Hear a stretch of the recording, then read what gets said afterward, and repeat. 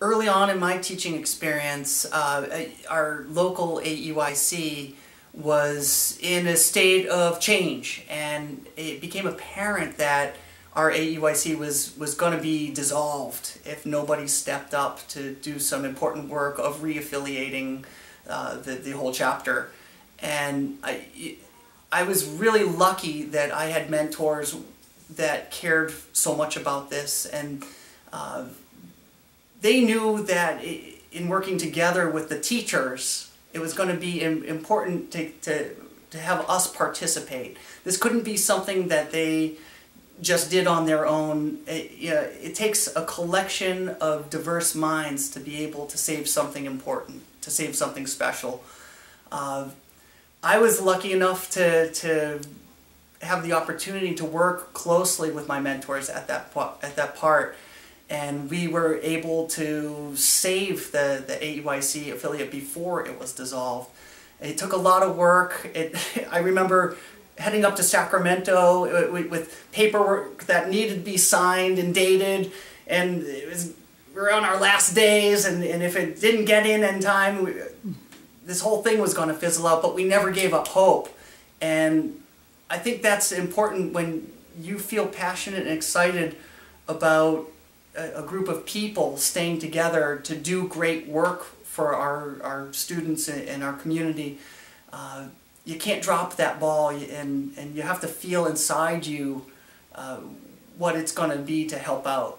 Let me uh, turn that off. And one great way a teacher can get involved in, in the role of leadership in their community is by working with the local AEYC uh, which is also attached to the state AEYC and the National Association for the Education of Young Children. Uh, by working with the local affiliate at, in any way you can, there's a great chance to, to volunteer and make events and things happen for teachers. And that can mean conferences, that can mean educational opportunities, stuff like touring other people's centers.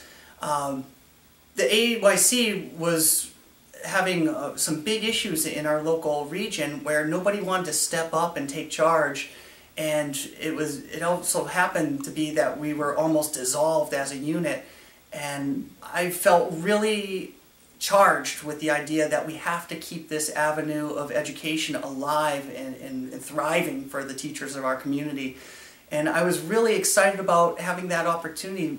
My mentors connected with me and, and we helped be a part of the group that drove to Sacramento as a deadline was passing and, and getting this paperwork signed and dated and, and, and approved. It, it, took a lot of extra time and energy and involvement, but when you take that time, that's stepping up, that's doing your part, and hopefully you feel that your work is connected to that bigger part. Uh, and if, in time, you've been doing this long enough, I think you, you know that you can't do it all from your classroom. It, it takes going, stepping outside of your classroom to be able to help. And then I'll talk about okay. the toughest challenge I ever faced as a teacher was when my school was closing down. And we were told by our parent school, uh, we were part of a bigger K through 12 campus, I'm sorry, K through 8 campus, and we were told that this very successful preschool program that had been in operation for 32 years in our community was no longer viable. And wow, we were flabbergasted and lost by that that thought. Um, I'll start. I'll start again too. So what happened was we were uh, the, the teachers and parents had to come together to find a plan. Uh, there was one idea, let's save this school, let's keep it going, and, and we'll be activists, we'll march to the other campus and tell them how important it is to save our school.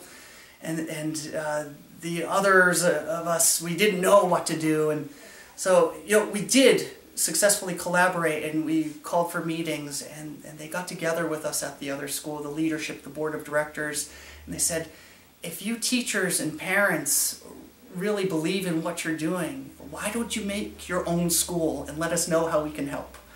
And at first that idea seemed so daunting and overwhelming to us.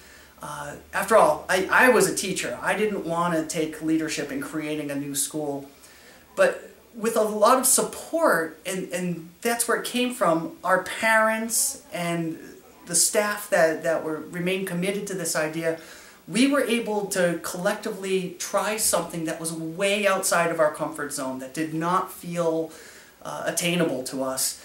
And I think back as we formed Coastal Community Preschool, that it took every one of us with our very specialized skill sets, even the teachers, to be able to make change happen and to create the framework for what was our school.